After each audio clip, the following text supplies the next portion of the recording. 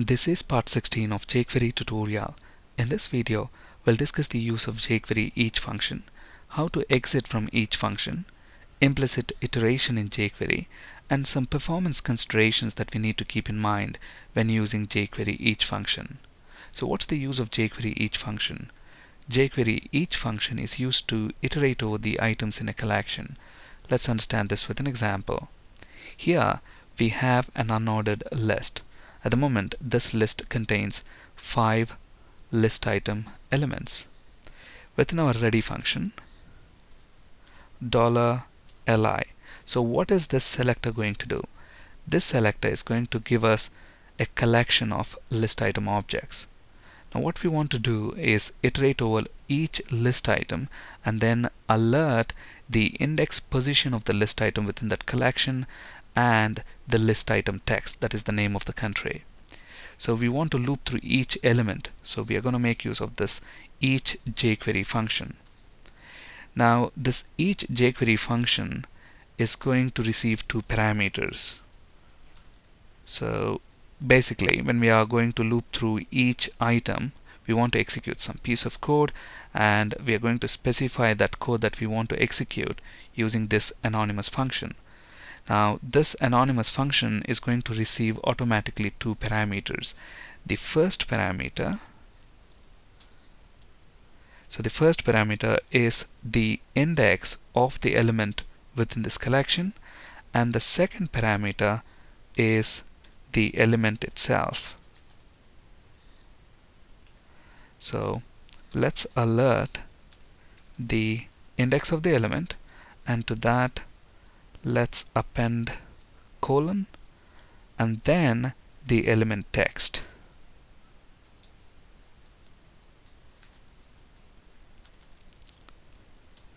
So this is going to return us the collection of all list items and on each list item you know this anonymous function will be executed and to this function we are passing the index of the item that we are currently iterating over and the element itself and we are alerting the index and the current element's text.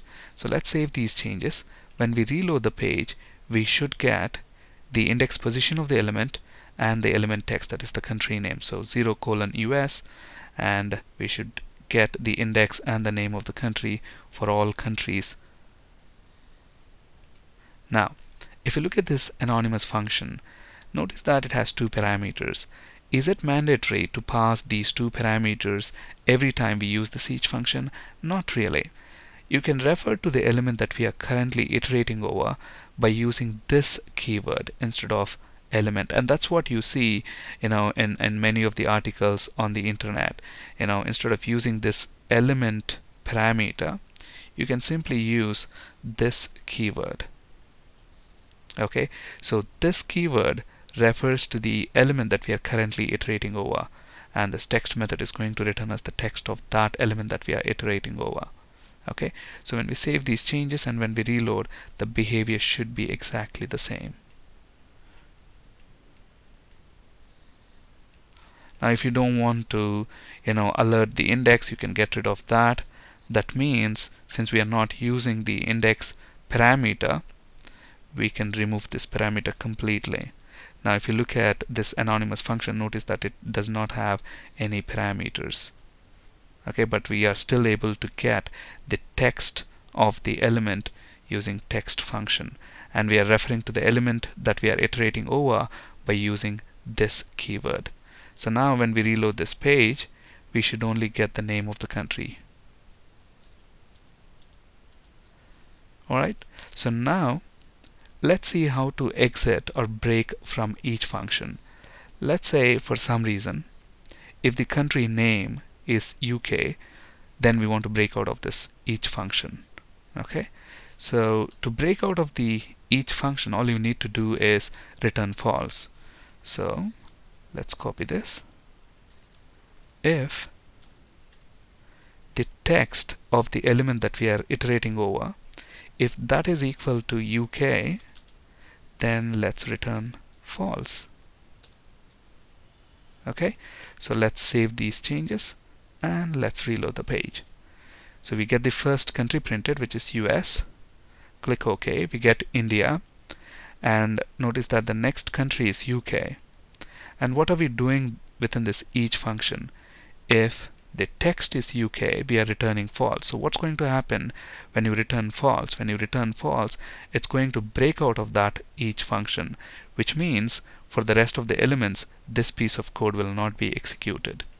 So once I click OK here, we should not get any more alerts because we have returned false. That means we have, you know, broken out of this each function. Now let's discuss about this implicit iteration concept in jQuery and let's actually understand that with an example. Now let's say we want to change the font color of all these list items to red and to do that we can make use of this jQuery CSS function. So let's get rid of all this.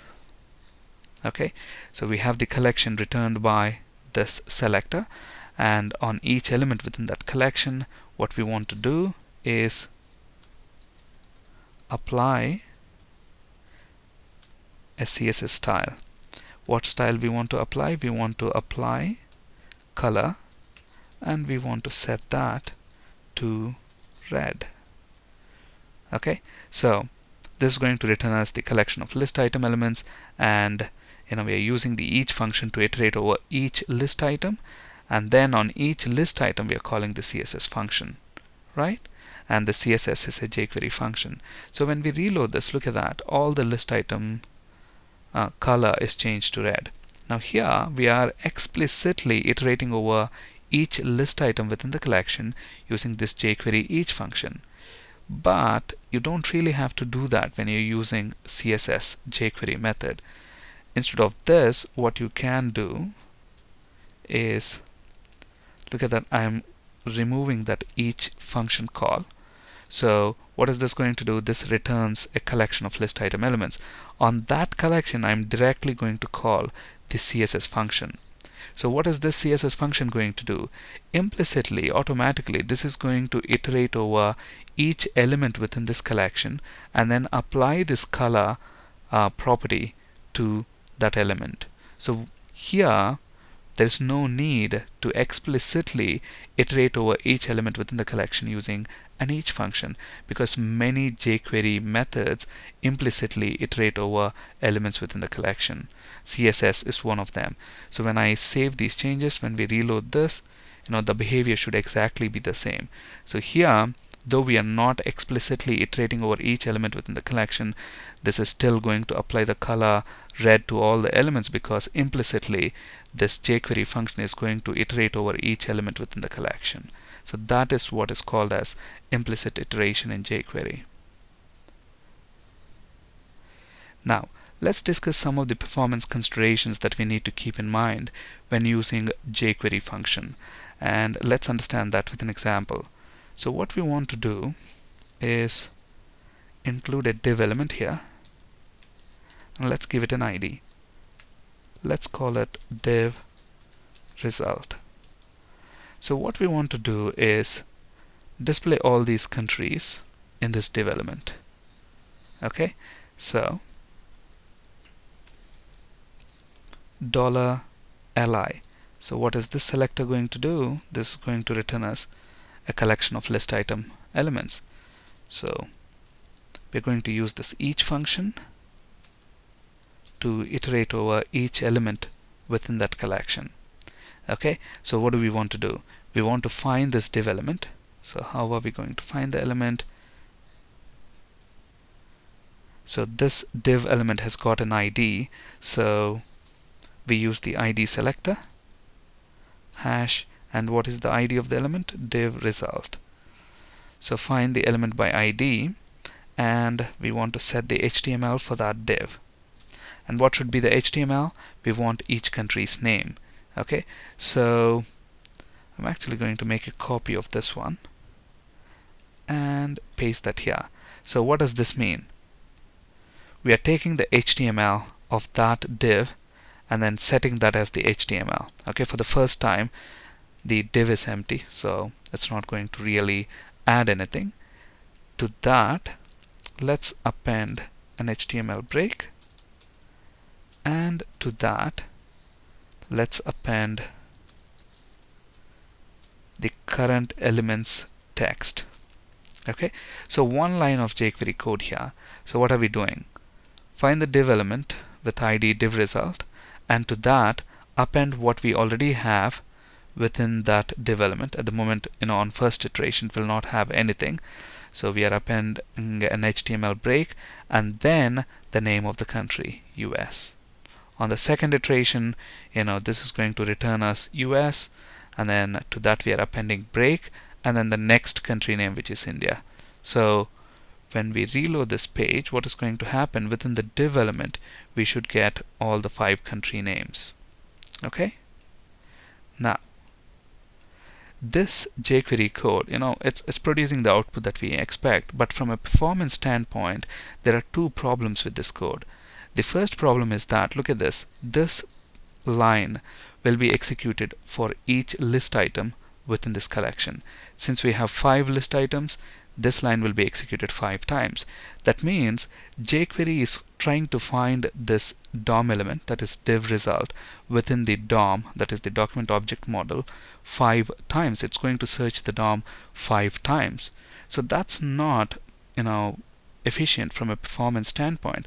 Why are we unnecessarily searching it five times? Why don't we search it once, store it in a variable, and then reuse that variable? And that concept is called as caching right? So instead of trying to find the same div element within the DOM five times, let's find it once. So outside of the each function, let's create a variable. Let's call this div element equals. We can use the selector, search the DOM, find that element, and then once we have found the element, we can use that variable. So div element.html. So now it's not going to search the DOM for the same element again, right? We found it the first time, and then we are using, you know, um, the cached version of that element. Okay, so it's now going to search that element only once. So this is much better from a performance standpoint. But there is another problem. The other problem is that this div element is actually a DOM element and what are we doing with that DOM element? We are updating that with new data. Now, updating DOM element frequently in a loop again is bad for performance. Instead, what you can do is use another variable, maybe a string variable, build this, that variable with the required data, and then outside of this each loop, you know, update that DOM element once that will again be much better for performance. So instead of updating this DOM element five times, we can update it once outside of the loop. And for that, let's create another variable. Let's call this result and let's initialize that with an empty string. And instead of updating the DOM element, what I'm going to do is use this variable. So result plus equals we can get rid of all this okay result plus equals to that append an HTML break and then the text of the element that we are iterating over so now this variable is going to contain the HTML that we want to uh, display within this div element so outside of this loop what we can do is now at the moment we don't even need this variable so I can um, you know get rid of that variable.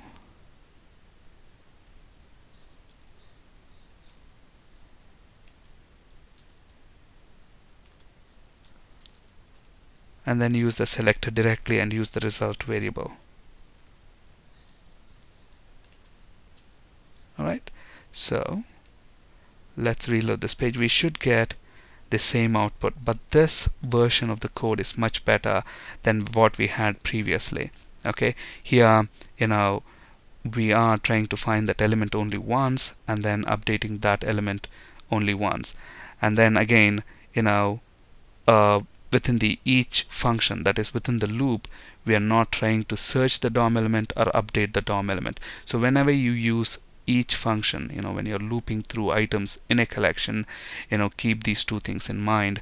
Don't try to find the same DOM element over and again. If you have to ever you know find a DOM element in a loop try to find that outside of the loop once cache that in a variable and then use that variable.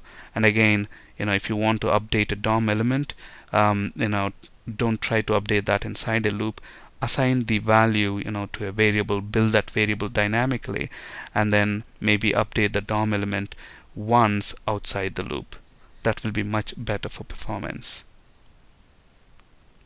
So here is the example that we just discussed. Thank you for listening and have a great day.